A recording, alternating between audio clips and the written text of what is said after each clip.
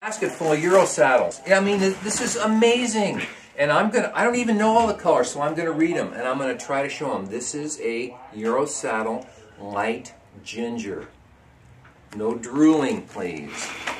This is a Whiting Farms Euro saddle, dyed pale yellow. Grizzly, grizzly. dialed yeah, pale grizzly. yellow. Thank you. Chris is, Chris, very pale. Can you see that okay? Uh, this is obviously a grizzly dyed orange. Very nicely marked. These are long, long feathers. You can just move them to the light. I like that. I can move them to the light. Okay. There you go. This is grizzly dyed lavender. Isn't that that's awesomeness? Ooh, talk about subtle.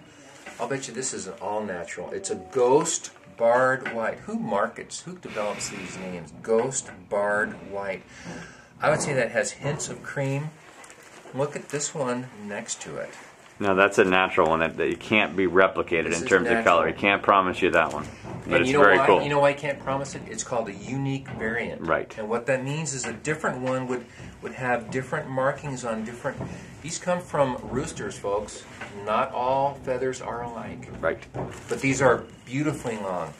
Chris, should I take one of these out of the package and show them how long they are? Sure. Okay. I mean, you can you can keep calling the names out too as you do Calling the names out. This looks. This has got some natural. It's a, just a natural grizzly, I think that one is, but it well, does no, have some. I know it does it's have. got some of that. It's called a grizzly variant. Oh, that's a beautiful one. Because it's got some of these uh, very unique. You know, we used to call these badger. Um, length. Uh, length. Um, how long those are. Those got to be 12 to 14 inches long. Very long. Very fine. Let's get a couple individual feathers out here. This one is grizzly at the top and badger at the bottom. Here's a brown, a grizzly dyed uh, brown. I knew that. And it's at the, there we go. That looks better, doesn't it? Mm-hmm. Here's probably a grizzly dyed lavender. Very nice. This looks like a light orange, a burnt orange, pardon me, grizzly, burnt orange. Grizzly dyed, let me guess, yellow. Very nice. Ooh, a lot of competition over these the steelhead folks and the uh, decorative feather folks. This is blue, plain old blue. How, how can how can it, it ought to be Stargate blue? I think. Euro saddle, chartreuse grizzly. This looks like it was white. Yeah, white dyed natural brown. These are very long feathers.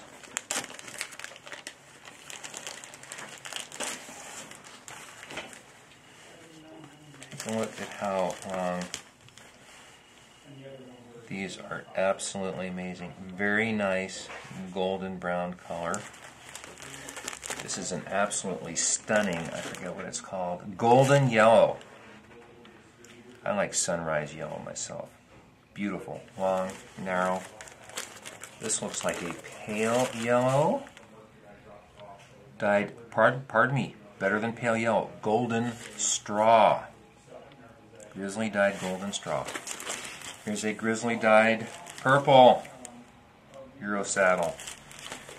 Here's one of those unique, it's a natural, um, it's called white. It is not pure white. It has those very, very faint bars. These are very narrow feathers. Here's one you're not going to miss, hot pink. This is a natural or dyed, uh, white dyed Coachman brown. Kind of a nice reddish brown. Here is a grizzly dyed golden olive. So these are the colors we've got right now. We can occasionally have some different colors, but this gives you a pretty good idea. Have fun with them.